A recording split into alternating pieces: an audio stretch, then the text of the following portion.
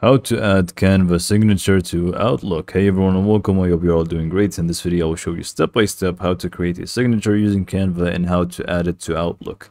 This is going to be very easy and simple to follow and to do. So let's just go ahead and get to it. First, you will need to just go ahead and click on create a design and then just click on more and let's just get the proper size for it. So email signature uh, and we can just go for this one and basically from this point you want to customize it to your liking. You will find plenty of templates to choose from here. And I'm just going to use this one as an example here uh, because it's the first one.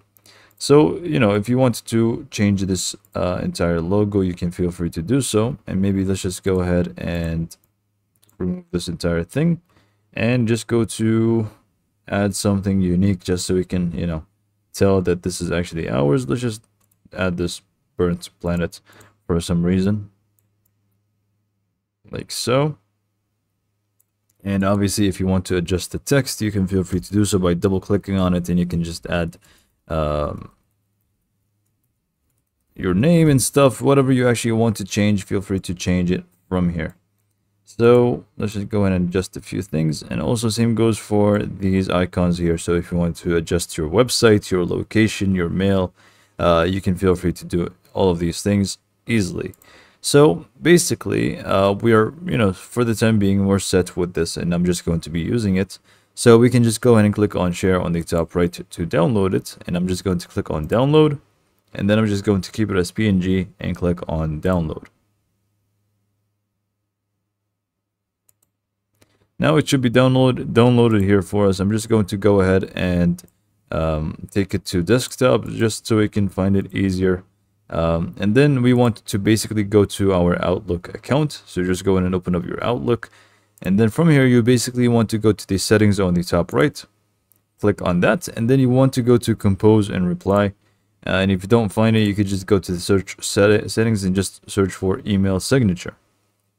Now from this space, you want to basically create a new one. So just click on new signature. Give it a name. I'm just going to name it Canva signature like so. And then from here, you basically want to click on this icon, which is insert pictures inline. Uh, this is the content space, so you obviously would want to add content. For us, we, were, we will add, add the, uh, the one that we just created. So click on insert pictures inline. Go ahead and find the picture, use it, and we can see now that we have our signature as the Canva image. Um, now I'm just going to go ahead and save it right now and we are pretty much set now so we have a new signature here. Now if you try to uh, you know compose a new email here and you want to add a signature to it we can feel free to do so. Now to add a signature once you're actually composing um, your email you basically want to go to the top tools here or if you're in here you can find it on the top here. Same thing just go ahead and click on it and you will find all the list uh, or the list of all the signatures that you have, including the one that we just created. So just go ahead and select it. And you can see now that we have the signature set uh, to go. We're pretty much good to go now and we have our Canvas signature in our Outlook. So this is pretty much all for this video. Hopefully you found this video to be helpful and thanks for watching.